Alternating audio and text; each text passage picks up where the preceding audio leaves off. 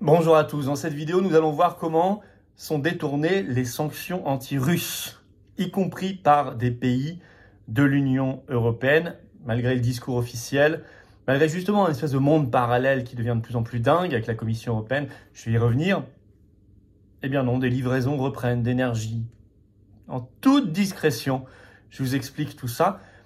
Dans le même temps, et c'est lié, la mauvaise réputation de Zelensky, les informations sortent, continuent de sortir, et vous allez voir des titres surprenants dans la presse française. J'y reviens, il se passe quelque chose. Incontestablement, il faut être extrêmement prudent, vigilant sur nos gardes dans la résistance, bien évidemment, car l'oligarchie est loin d'avoir dit son dernier mot, bien évidemment. Mais nous devons regarder cela de, de près. Et justement, ce, ce mouvement pour la résistance, pour éviter les absurdes rationnements énergétiques toute cette folie liberticide, eh bien, fera partie de notre mobilisation du rendez-vous de la résistance du samedi 3 septembre à Paris, rendez-vous 14h, place de la Bourse. Je vous le rappelle, il y a un groupe Facebook pour organiser le covoiturage entre vous. Vous pouvez contacter aussi vos excellents référents départementaux des Patriotes que je salue, bien évidemment. Vous pouvez également écrire pour les logements à référent 75, tout collé sans accent, les-patriotes.fr euh, pour si vous avez besoin de logement, si vous arrivez la veille par exemple, pour essayer de, on peut essayer en solidarité de vous trouver quelques logements. N'hésitez pas à écrire au référent de Paris, Dominique Bourse-Provence, à cette adresse, bien évidemment. Voilà, je compte sur vous pour faire circuler l'information. C'est important ce qu'on va se dire dans la vidéo aujourd'hui parce que ça va pas faire la une de l'actualité, la une des grands médias mais c'est très important. Euh, donc pour faire circuler cette vidéo, notamment abonnez-vous si vous voulez bien à cette chaîne YouTube, un petit clic, hop, une seconde, c'est un dixième de seconde, même, même pas une seconde, c'est gratuit. Merci, merci à ceux qui l'ont fait récemment et à ceux qui vont s'abonner, je le sais, dans, le, dans les secondes et les minutes qui viennent. Je compte sur vous parce qu'en fait, plus vous êtes abonné, plus simplement ces vidéos circulent beaucoup et vite. C'est comme ça, c'est mécanique, ce sont les algorithmes de YouTube. Venez aux Patriotes, là, il n'y a pas d'algorithme, il n'y a rien, mais il y a une foi, une conviction, une envie de se battre pour nous et les générations qui viennent, pour notre beau pays, notre patrie, pour notre humanité, pour notre liberté, notre souveraineté de peuple, de nation, pour des belles choses. Voilà, pour euh, construire un avenir qui ne soit pas l'enfer.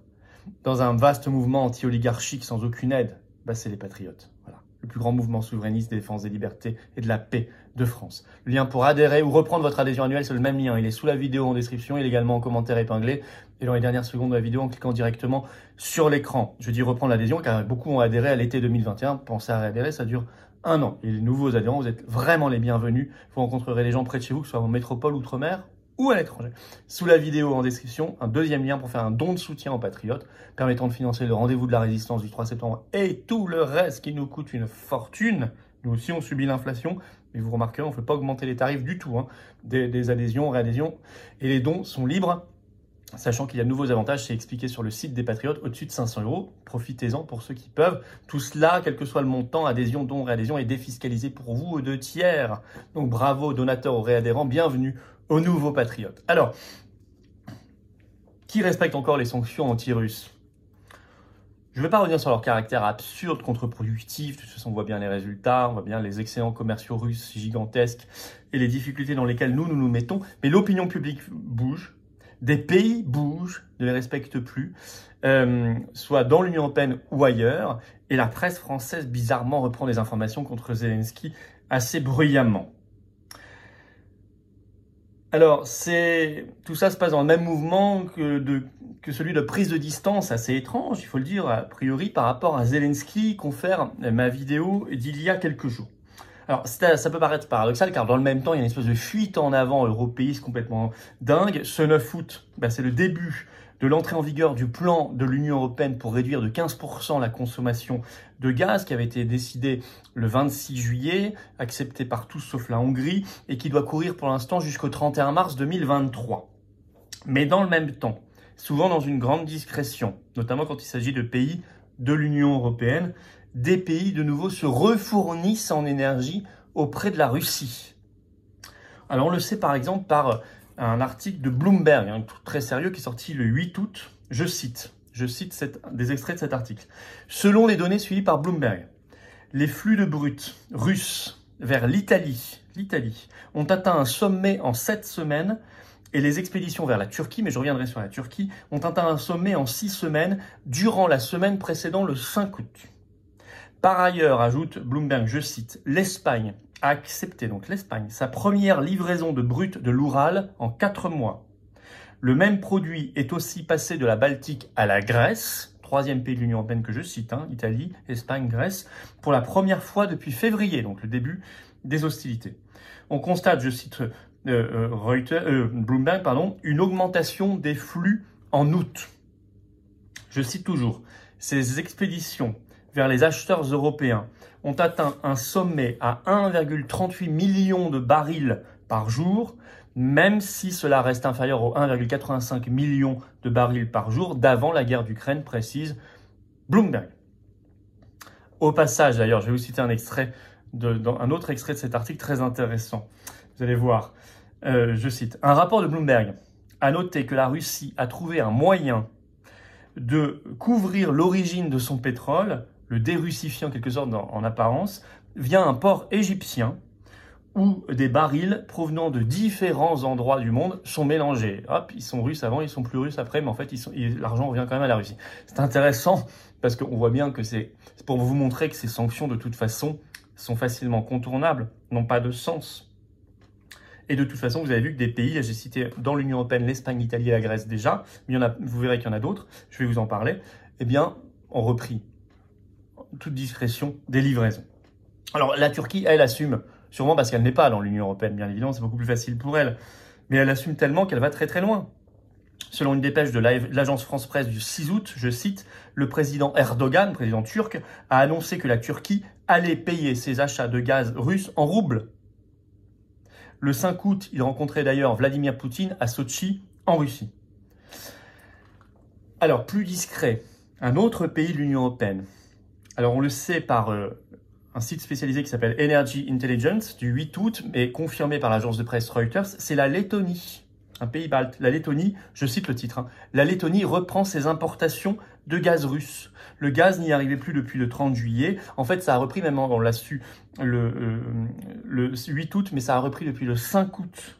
Je cite la source, selon les données du euh, gestionnaire de réseau de transport Connexus Baltic Grid CBG. Donc ça, c'est certifié notamment par Reuters. Alors en France, j'ai envie de dire que c'est un peu la fête à Zelensky. Alors c'est pas général, vous trouvez toujours évidemment euh, des serviteurs de l'oligarchie du pouvoir, de, grands médias qui font l'éloge de Zelensky, bien évidemment. Mais il y a des choses surprenantes dans la lignée de ma dernière vidéo et ça s'est accentué depuis ce 9 août il y a eu un très étrange papier du Parisien, aussi bien dans le Parisien papier qu'en ligne. Le titre, écoutez bien le titre. Ukraine, deux points. Polémique Vogue. Rapport d'Amnesty International. Compte offshore. Trois petits points. Zelensky ciblé de toutes parts. Et dans cet article, il est écrit ceci. Alors qu'il est dépeint en héros depuis le début de la guerre, le président ukrainien essuie des critiques ces derniers jours, ce qui, je cite toujours, pourrait traduire une certaine lassitude occidentale. Une certaine lassitude occidentale, ce que j'ai appelé dans ma vidéo, est-il lâché pour l'interrogation? Et dans cet article du Parisien, ils ajoutent ceci, les critiques s'enchaînent depuis deux semaines. Alors, qu'est-ce qu'on peut dire là-dessus?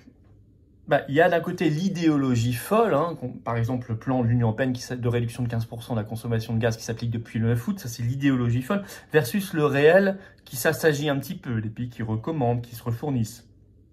Mais attention, on sait que l'idéologie en en en dingue est très souvent supérieure au réel. Donc il faut être ultra vigilant, ultra prudent. Je donne juste quelques éléments d'information, je n'en tire pas plus de conclusions que cela pour le moment il faut de toute façon se mobiliser. Et la première des mobilisations, c'est l'information. Informer. D'autant que l'opinion publique bouge, je vous le disais en introduction. On a un sondage de l'Institut YouGov qui a été fait dans différents pays européens sur les sanctions anti-russes. Et c'est dans ces pays, en France, figurez-vous, que l'opinion publique est devenue la plus hostile à la poursuite de ces sanctions anti-russes. La question est posée ainsi. Faut-il selon vous, oui ou non, continuer les sanctions anti-russes même si elles ont des effets collatéraux, c'est-à-dire contre nous. Et à ce moment-là, dans ce cas-là, vous avez seulement 27% des Français qui souhaitent continuer, mais 63% qui disent non. 27, 63. Et vous allez voir, c'est le meilleur résultat de tous les pays testés, puisqu'en Pologne, 39 disent il faut continuer et 45 seulement il faut arrêter. Alors France, je rappelle, c'est pas 39-45, c'est 27-63. En Royaume-Uni, c'est 38-47. En Allemagne, c'est 34-54. En Espagne, c'est 35-54. Et en Italie, c'est là où ça ressemble plus à la France, mais c'est quand même moins bon, c'est 27 et 59% qui disent il faut arrêter. Je rappelle qu'en France, c'est 27 et 63% qui disent il faut arrêter s'il y a des effets collatéraux. Donc la France est bien le pays le mieux positionné. Bah, J'en suis heureux, ça veut dire que malgré la propagande, il y a quand même une information qui se diffuse à bas bruit au sein de la population française. Il faut continuer.